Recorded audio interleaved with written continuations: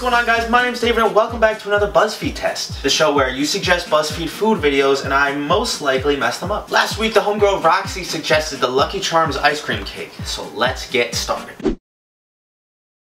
Things you'll need for this week's video are marshmallows, butter, white chocolate chips, your favorite ice cream, non-stick cooking spray, and of course, Lucky Charms. So step one is to make the white chocolate bark. So grab yourself a bowl, throw in one and a half cups of white chocolate chips, an ounce and a half of butter, and microwave that until it gets to this smooth, chewed gum consistency. Then throw some wax paper down, smooth that glop onto there, and keep in mind it does not have to be in a perfect circle, but the OCD inside me could not help but to do so.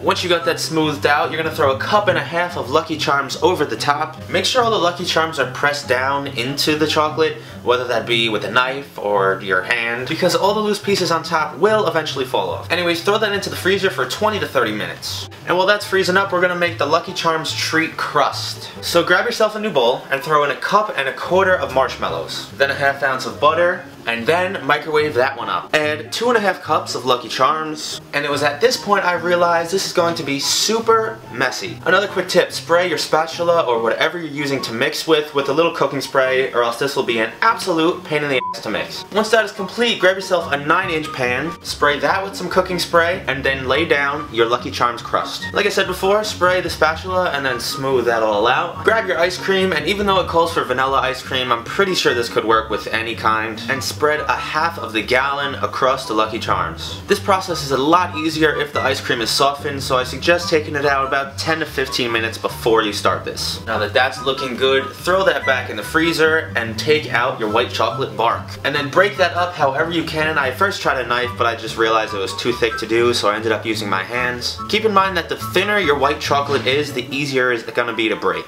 Once you got that all broken up, grab your pan and layer that over the top. Try to fill in all the empty spaces. And back into the freezer that goes for another 20 to 30 minutes. And now, after about an hour and a half, we have finally arrived to this point.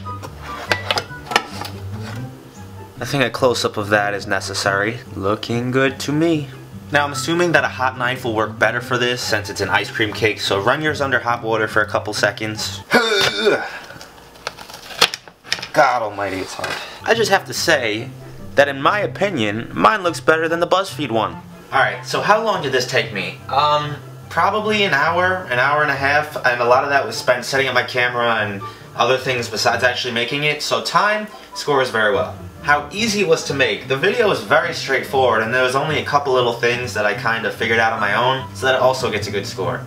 And for the most important part, I can't imagine this tasting badly, but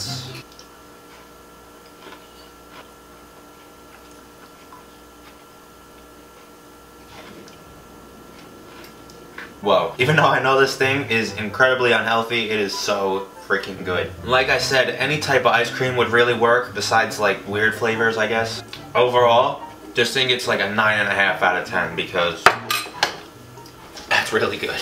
If you guys enjoyed the video, please give me that big thumbs up. It means a lot. Once again, let's try to get this video to 50 likes. It's a lot, but I think we can do it. Most importantly, guys, leave your suggestion for what you want me to do next down in the comments because next Thursday, I'm going to try another one. Other than that, have an awesome week, guys, and I'll see you right back here on Sunday.